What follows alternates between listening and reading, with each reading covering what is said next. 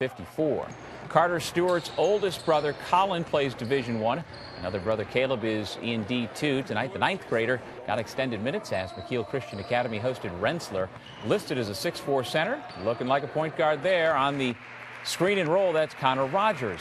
And then Rogers returns the favor, passing out of the triple team. Stewart connects from just inside the arc. The only question would the Lions reach the 100 mark? Jeff Gomez did what he could do to get there. However, they would settle for 97. Mekeel improves to 13.